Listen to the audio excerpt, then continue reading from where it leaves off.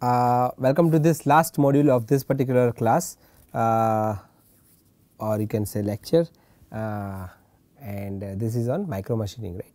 So, along with micro machining uh, we are also looking at uh, CVD in particular which is your chemical vapor deposition. Now, uh, we have taken few examples uh, of sensors how you can fabricate uh, sensors using bulk micro machining or bulk plus surface micro machining or if it is a, a actuator uh, that can actuate the mirror or it can be a cantilever uh, how can we use this bulk and surface micro machining right. Uh, we also see we have also seen the um, advantages and disadvantages of dry and wet etching now, uh, in the thin film deposition when you want to grow or, deposit a thin film uh, there are two techniques. We have already discussed PVD which is plasma uh, which is a physical vapor deposition. And in this PVD there is uh, again uh, subdivision. One is uh, evaporation and another one is sputtering. So, when you talk about evaporation you have thermal evaporation and you have e-beam evaporation. And when you talk about sputtering, sputtering is a mechanical way of dislodging the atoms from the uh, target uh, and deposit the film on the substrate right.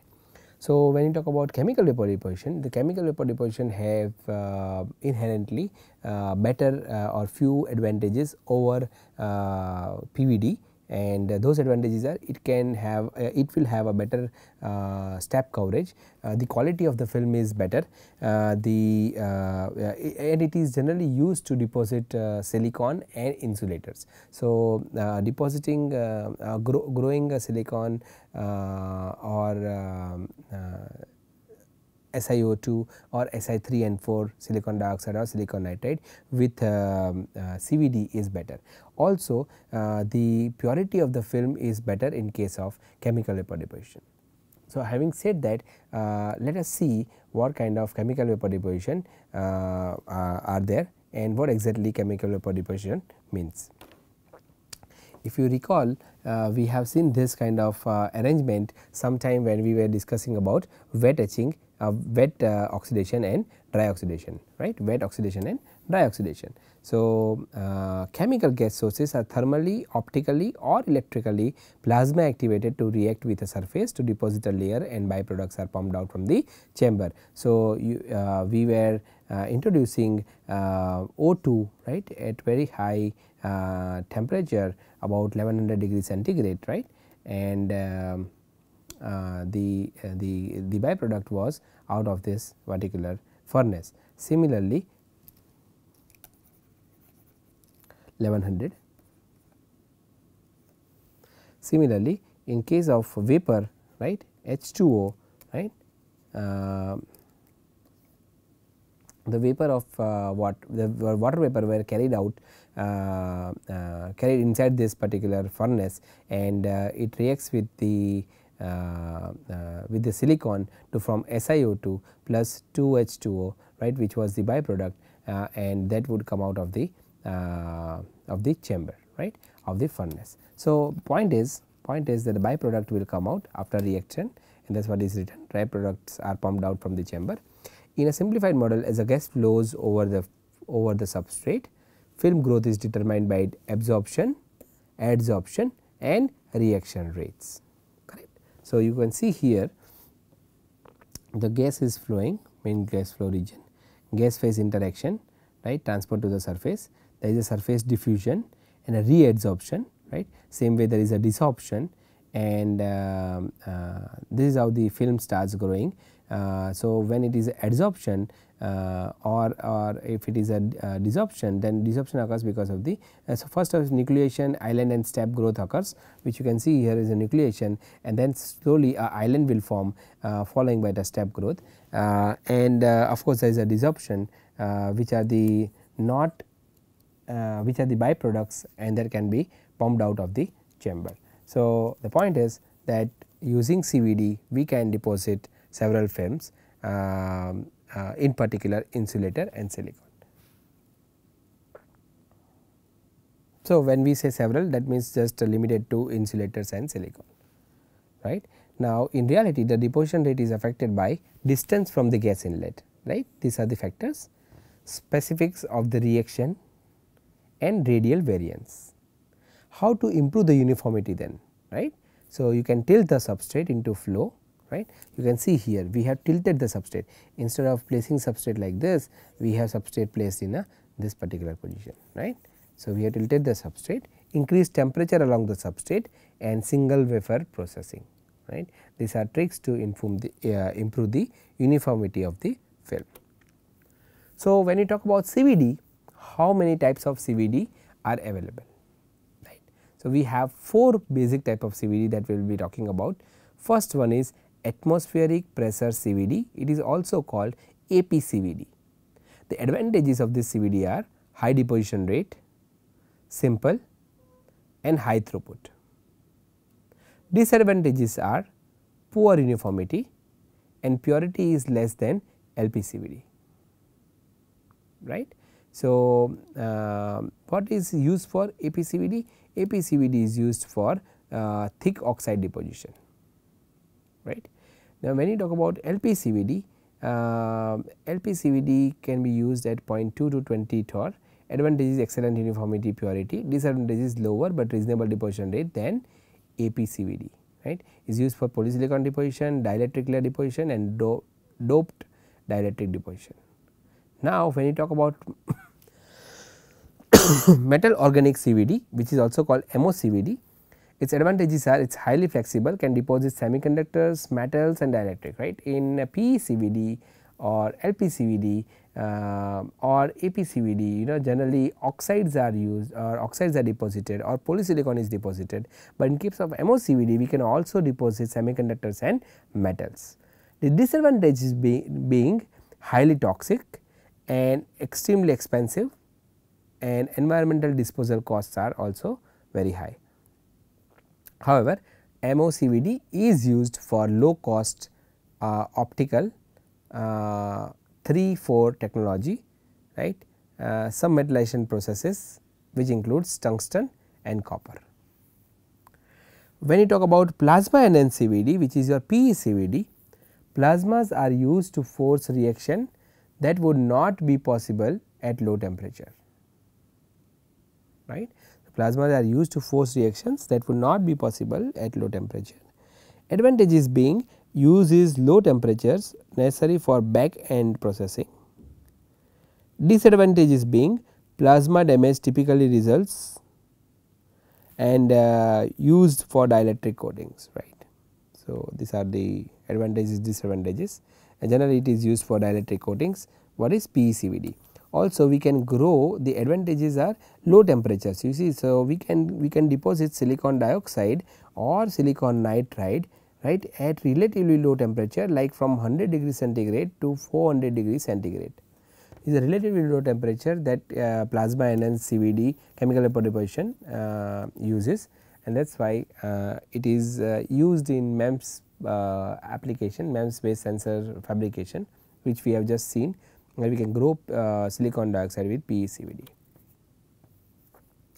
So, when you talk about LPCVD LPCVD typically uses silicon containing uh, compounds typically 100 percent silane SiH4 or 20 30 percent silane or 80 70 inert gas and which are reacted with wafer at 0.2 to 1 torr and about 575 to 650 degrees centigrade right.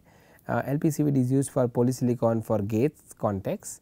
Polysilicon can be doped using diborane or arsine right B2H6 ASH ASH3 or phosphine this is PH3 doped polysilicon makes good short interconnect lines right we know it.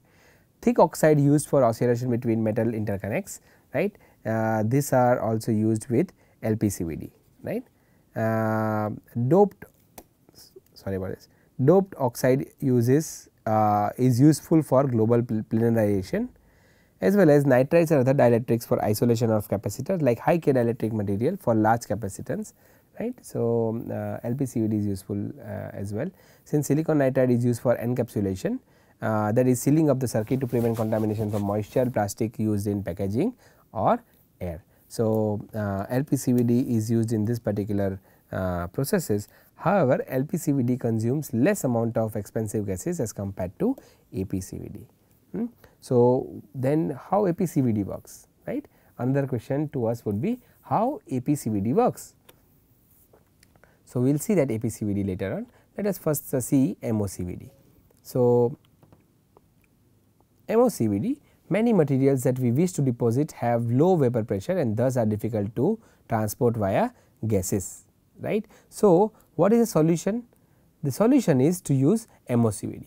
So, if you look at the screen one solution to chemically attach the metal right that is gallium, aluminum, copper etc., to an organic compound that has very high vapor pressure. Organic compounds often have very high vapor pressure uh, for example, alcohol has a strong odor right. The organic material bond is very weak and can be broken via thermal means on wafer.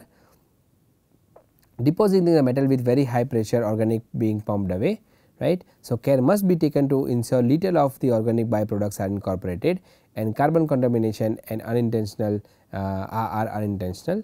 Hydrogen incorporations are sometimes a problem. So, this is about MOCVD.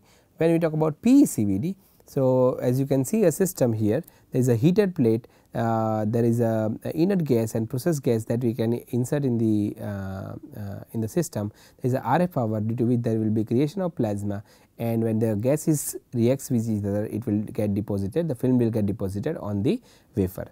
So, what are what is exactly uh, why we have to use PECVD? PECVD. So, let us take an example here which is shown right over here.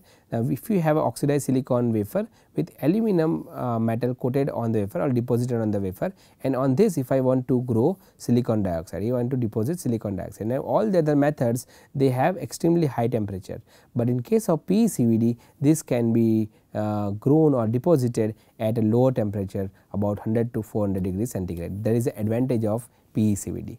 So, suppose after metal lines like aluminum was deposited, how would you deposit a conformal dielectric SiO2 or Si3N4 to isolate next metal layer right. So, if I want to have another metal layer, I have to have a silicon dioxide in between these two metal right. This is another metal, this is one metal right. So, this one would be my insulating material correct. The silicon dioxide would be an insulator. We have just taken example of we have taken an example of gas sensor right where we were uh, depositing a silicon uh, dioxide between a heater and interdigitated electrodes. So, solutions includes PECV deposition of dielectric. When fast diffusion metal like copper are used, this low temperature deposition becomes more important.